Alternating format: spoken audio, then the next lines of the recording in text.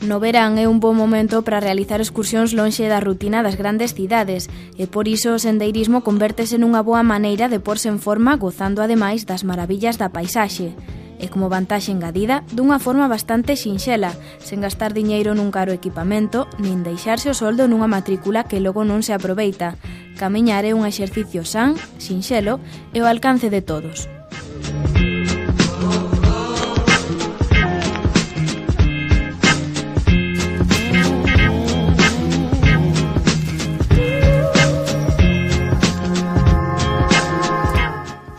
En principio, o único requisito é utilizar bo calzado e calcetíns de algodón para evitar rozaduras ou bochas. O equipamento ha de completarse cunha vestimenta folgada e transpirable para evitar os frecuentes rozamentos.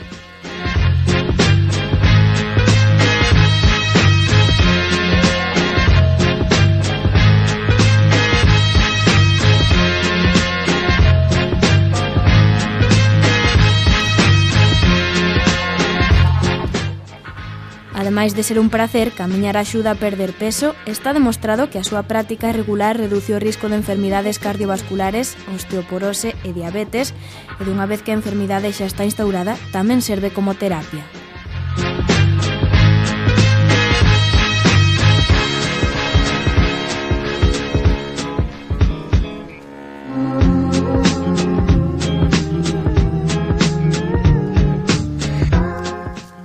Ademais, en Galicia hai itinerarios creados a medida dos amantes das camiñadas pola natureza, rutas marcadas que guían a través das paraxes máis velas da xeografía, coa vantaxe de ser seguros e pornos a salvo de sorpresas desagradables. Música